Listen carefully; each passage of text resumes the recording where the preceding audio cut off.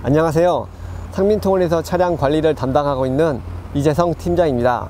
이번 시간에는 알아두면 좋은 화물차 운행 요령에 대해서 설명드리겠습니다. 뒤에 보이는 화물차들은 모두 오토 차량입니다. 해당 차량들은 평상, 평지를 운전할 때는 승용차와 마찬가지로 편하게 운전해 주시면 되는데요.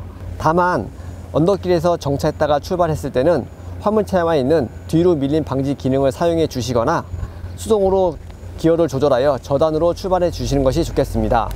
비탈길을 내려올 때는 보조 브레이크를 같이 사용해 주시는 것이 좋습니다.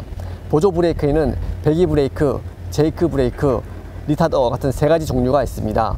긴 비탈길을 내려올 때는 발로 밟는 풋 브레이크만 사용하시게 되면 브레이크 디스크 및 드럼에 과열이 발생되고 에어탱크 압축 공기가 부족하여 제동력이 길어질 수 있으니 꼭 보조 브레이크를 같이 사용해 주시는 것이 좋습니다.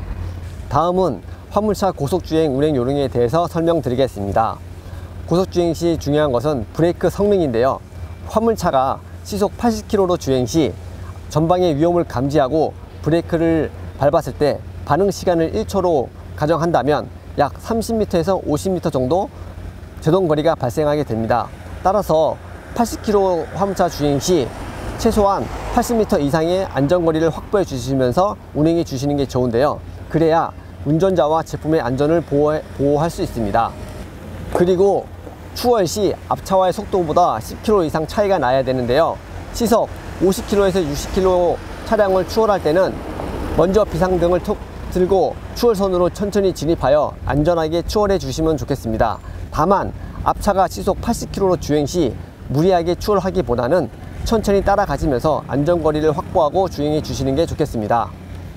그리고 화물차 적재함에 제품이 실려 있다면 거리가 가깝다고 하더라도 적재함을 개방한 상태로 주행을 하시면 절대 안 되겠습니다. 제품을 결방을 하지 않은 상태에서 주행을 하게 된다면 제품 파손을 야기시키거나 또 다른 사고의 원인을 발생시킬 수 있으니 유의해 주시기 바라겠습니다. 다음은 운전자가 적재함에 올라갈 수가 있는데요. 적재함의 높이는 1m가 조금 넘습니다. 그래서 화물차 옆문 게이트 뒷부분에 발판이 있기 때문에 발판을 밟고 천천히 올라가 주시면 됩니다. 그리고 내려올 때 가끔 뛰어 내려오시는 분들이 계신데요. 화물차 뒷부분의 게이트 발판을 밟고 천천히 내려오시면 안전합니다. 마지막으로 화물차 운행을 하다 보면 장시간 공회전, 급가속, 급제동은 차에 무리를 줄 수 있으니 최대한 자제해 주시길 바라겠습니다.